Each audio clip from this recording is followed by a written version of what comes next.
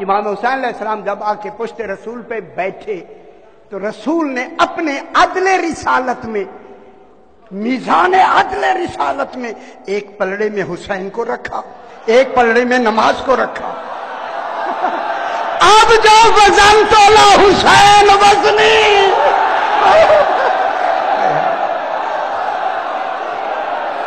मैं लफ्ज कह दूँ? ए हैदराबाद में मैं लफ्ज कह दूँ। रसूल की नमाज़ में हुसैन आए तो वो नमाज़ नहीं टूटती। अगर अली आए